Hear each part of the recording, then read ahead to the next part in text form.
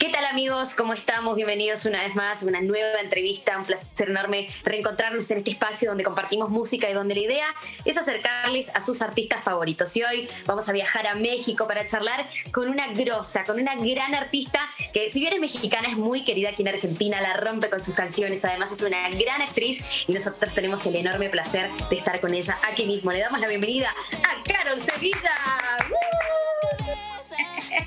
Bienvenida, Carol.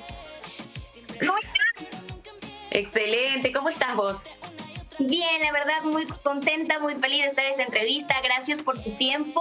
Y nada, a, chismearle, como se diría en mi país. Claro que sí, muy bien. No, gracias a vos por tu tiempo. Sabemos que estás a full promocionando este nuevo tema, así que para nosotros es súper valorable tener un ratito para contarnos cómo viene Nadie te entiende, cómo ha sido la repercusión hasta el momento y cómo lo ha recibido tu público. Bien, la verdad que ha superado mis expectativas totalmente, ¿no? Cada que uno lanza una canción, eh, está esta incertidumbre de no saber qué va a pasar, ¿no? Si les va a gustar y si no. Y creo que también aquí había mucho miedo de por medio de mi parte, porque es un videoclip súper loco, fuera de lo normal, de lo que eh, salí de mi zona de confort, que creo que eso en general a todos nos da miedo, ¿no? Estamos acostumbrados a siempre estar en la comodidad y no salir y, y justo como todo el tiempo hacer lo mismo, pero a mí me encanta tomar riesgo. Yo siempre digo que la vida es un riesgo y hay que hacerlo, ¿no? Y si te vas a pegar contra la pared, lo vas a hacer y vas a aprender.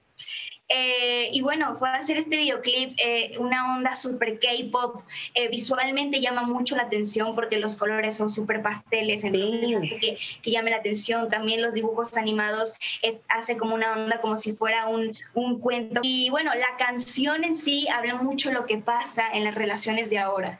Es el poliamor de que no son amigos, pero tampoco son novios, entonces es como... Que no se ponen de acuerdo. Totalmente, y creo que muchos hemos estado en esa situación o hemos puesto a alguien en esa situación de histeriquear a alguien. Eh, y, bueno, el, el, amor es tan, tan raro y tan complicado que cuando te enamoras y estás así de que ilusionada con alguien, haces todo por, por llamar su atención, eh, porque por lo menos te piensa un ratito, ¿no? ¿no? Y también siempre cerquita de la actuación, trabajando todavía para Disney, muy pronto podremos conocer a Lupe en Siempre Fui Yo. Me gustaría que me cuentes un poquito sobre este proyecto y sobre tu personaje. Sí, estoy bien feliz. Disney me volvió a dar las batutas para, para, representar un protagónico y sobre todo para guiar esta historia y para contarla, ¿no? Y eso, la verdad, para mí es, es muy bonito que vuelvan a confiar en mi trabajo porque quiere decir que algo hice bien en Soy Luna. Que les Pero por supuesto. y esto es bien bonito cuando, cuando vuelven a confiar, ¿no? Esta vez es una serie para la plataforma forma de Disney Plus. Es la primera serie que se estrena para Latinoamérica eh, y es una historia espectacular. Represento a Lupe, mi personaje es una chica de 21 años que estudia en la universidad. Es una chica súper, desde muy chiquita es muy independiente, por ende ella tiene mucho miedo que la gente se acerque y que le haga daño. Eh, le, tiene medio como odio a enamorarse porque ya la han lastimado, entonces está como medio cerrada ese, como en ese espacio está cerrada totalmente. Eh, ella estudia en la universidad periodismo, pero canta singles, pero no en público porque tiene pánico escénico hasta que su mundo eh, y su vida en un momento al otro cambia totalmente, da un giro eh, así totalmente su mundo. Muere el papá y, y, bueno, ella va a Colombia a ver al, velorio y se da cuenta de que no, no fue la muerte de lo que le cuentan, sino lo mataron. Entonces tiene que ir en busca de pistas y ¿qué hace? Pues se va a meter a su mundo, va a estar más cerca de la gente que lo rodeaba y va a tener que hacer un sacrificio muy grande que es entrar a un concurso por primera vez y, y exponer eh, y subirse a un escenario.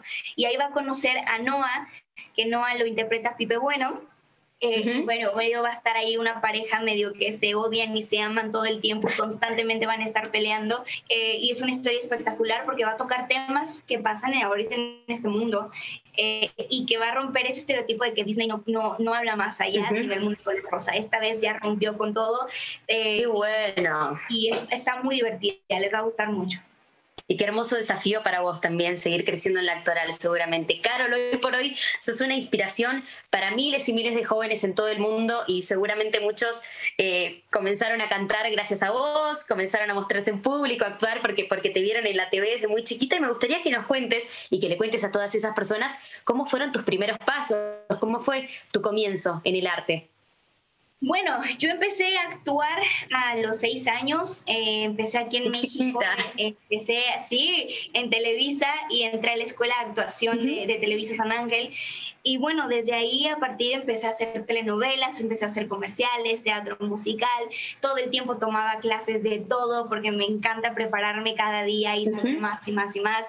Tomaba clases de canto, tap, eh, jazz, ballet, baile, telas, pole dance, eh, tomé clases de circo, eh, todo el tiempo era constantemente prepararme y bueno, a los 15 años llega esta oportunidad de Disney para protagonizar una serie sin saber qué iba a pasar, de irme a vivir a otro país, irme a vivir a Argentina, que me abrió las puertas de su corazón y de su casa totalmente, aprender una nueva cultura, llegar a un colegio donde tengo que aprenderme la historia argentina y volver a nacer básicamente.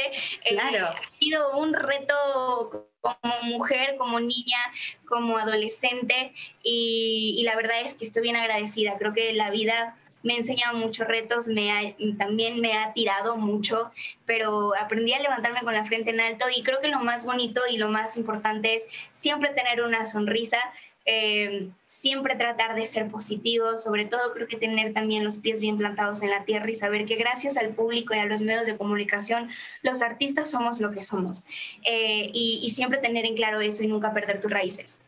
Tal cual, bueno, sí, una experiencia que te hizo de cierta manera crecer de golpe, porque eras muy chiquita, nuevo país, nuevas experiencias laborales, pero Soy Luna, eh, de cierta manera, te debe haber marcado una experiencia inolvidable. Hoy volvés la vista atrás y, ¿qué recordás de ese personaje tan bonito de Luna que te tocó interpretar? Andar en patir, qué, impresionante.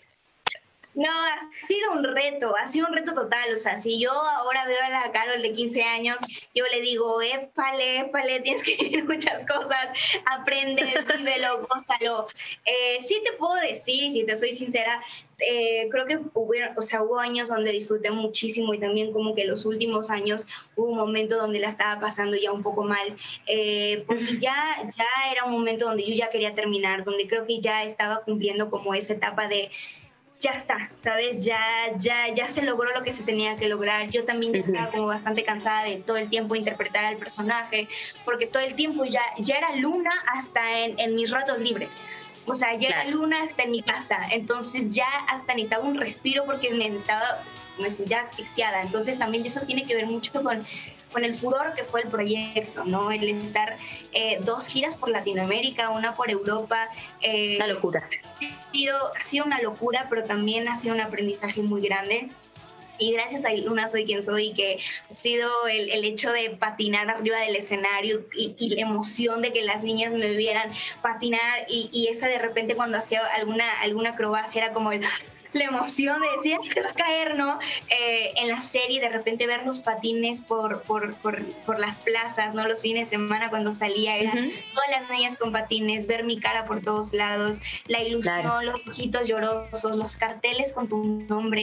Bueno, Carol, la verdad que ha sido un placer enorme charlar con vos. Deseamos que sigan todos, todos los éxitos con tu música, con tus trabajos como actriz también, porque te lo tenés súper merecido. Sos una joven muy talentosa, con mucha pila, y la verdad que para nosotros es hermoso que hayas pasado aquí por nuestro espacio de entrevistas. Te mandamos un beso gigante y a todo el mundo escuchar Nadie te entiende que la rompe. Claro que sí, te mando un beso gigante, gracias a todos. Este, nadie, bueno, escuchen, nadie te entiende y que sin miedo al éxito la dediquen, que la bailen, que la gocen y que la disfruten. Muy bien, eso. Chao, Carol. Muchísimas gracias. Bye.